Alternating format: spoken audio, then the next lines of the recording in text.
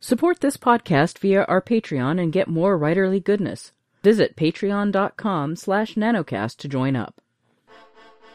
Welcome to NaNoWriMo Every Month.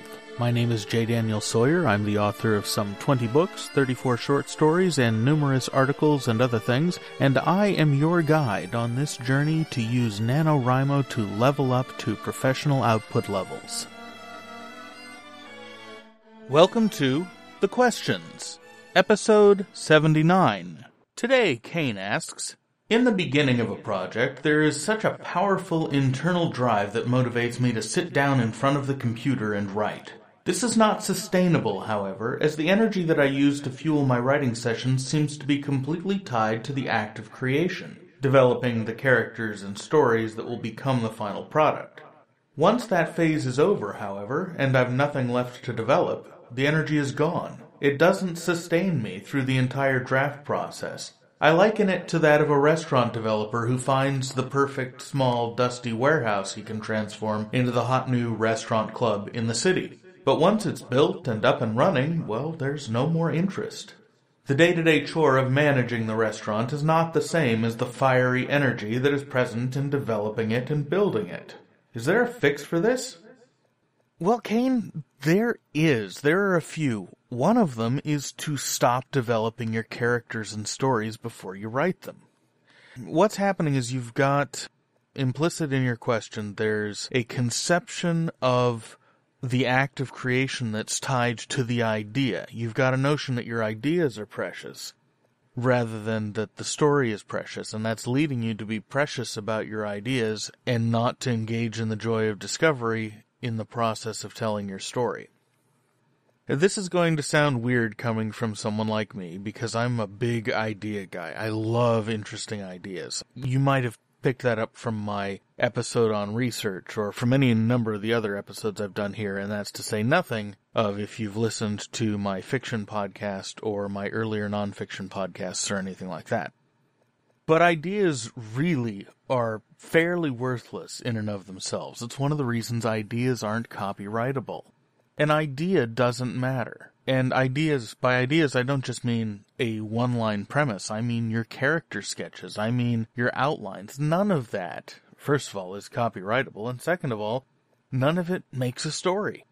They're just pieces of the story. And they're not all the pieces. Once you've got your character sketches and your outlines done, you still haven't told the story. And there is gobs of creation left to do in the process of writing the story. What's happening is I think you've got a notion in your head that creativity is tied only to a couple of pieces of the process, and that notion is simply untrue. Creativity is present through the whole process, and in fact, only really gets fully engaged when you're in full flower playing with all the different pieces at the same time. Now, this doesn't mean that you can't be creative when you're outlining and you can't be creative when you're developing character sketches ahead of time, but you have so tied yourself to the notion that that's the act of creativity, that's the exciting part, that you have cut yourself off from what is the much, much more satisfying and engaging work of putting things all together and discovering what happens when you put them together. One of the reasons that no story is complete until it's written is because when you are giving your ideas free rein, they produce things by interacting with each other that you could not have predicted from the vantage point of your drafting table when you're doing your pre-planning.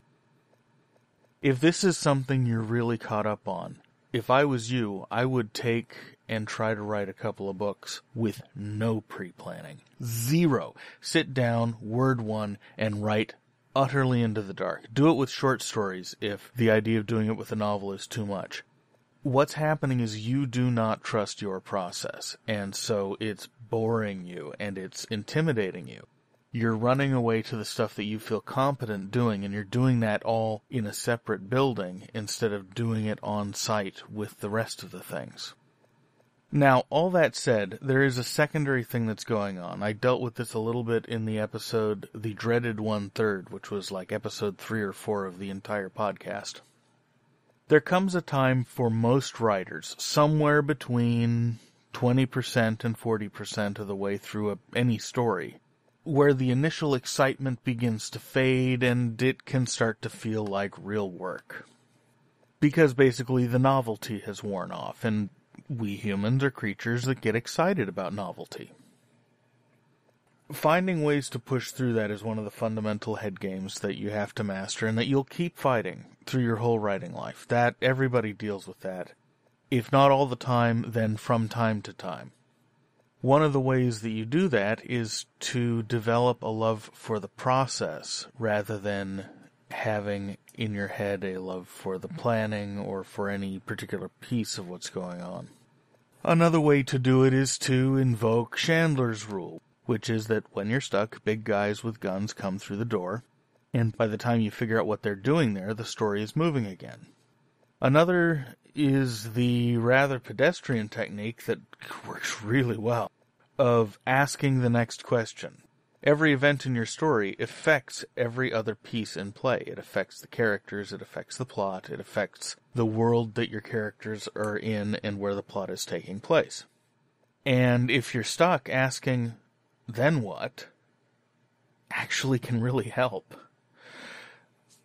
Um, it can help for a couple of reasons. Now, I know it's an obvious question, but by turning the process on its head and turning it into an exercise of answering interesting questions, you can make it a game again, and bringing that sense of playfulness back into it is one of the ways that you get over that hump. If you're not getting a satisfactory answer by asking, then what? Like, what's the thing that would happen if these things happen together? You can give it a twist, and I've gotten myself out of a lot of dead ends this way by asking myself, what is the least likely thing that could happen here that's still believable? Or what is the most unexpected thing this character could do that is still in character? And that'll lead to a number of false starts to get unblocked, but eventually I'll find a groove and it'll open up vistas in the story that I hadn't imagined possible. You have to be willing to follow the logic of your story through, even if you're screwing with it all along the way by asking impertinent questions just to keep yourself from being bored. And there's nothing wrong with that because if you're not bored, chances are the audience isn't going to be bored either. If you can't see where things are going, it's going to take a hell of a canny audience member to figure out where it's going.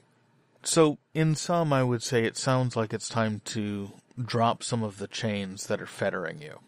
Try different methods of developing your stories. Try different ways of approaching the thing. If you're stalling out at 25% all the time, if you want, you're winding up with stacks of half-finished novels, then you're doing something very basic that's wrong. You're getting in your own way, either by not giving yourself enough material to run with, such as starting with one idea and not letting any other ideas pollute it. It's the pollution that creates the story. Or by trying to do all the creative work up front and then viewing the process of the actual writing as a workman-like draftsman task that will also kill you, or whatever it is you're doing, either in your head or in the actual tangible world. Start looking for ways you might be getting in your own way and change them.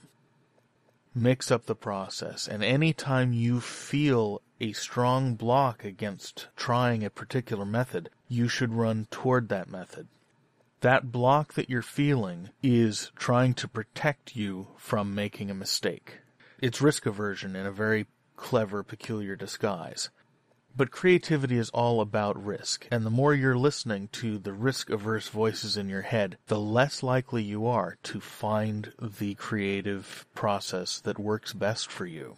So use your sense of hesitation as a sign pointing you to where you should go and do the most outrageous, scary things you can think of to bust through, and you will find out so much about yourself and your process that will be useful to you for the rest of your life. I can't recommend it highly enough. Thank you for the question. It was a fantastic question. I really hope that helps, and I'll see you tomorrow. NaNoWriMo Every Month is written and presented by J. Daniel Sawyer and produced by Artistic Whispers Productions. Visit our website at nanowrimoeverymonth.com and leave a tip in the tip jar or join the Patreon to support this podcast. NaNoWriMo Every Month is copyright 2016 by J. Daniel Sawyer and Artistic Whispers Productions and is released under a Creative Commons non-commercial attribution no derivatives license.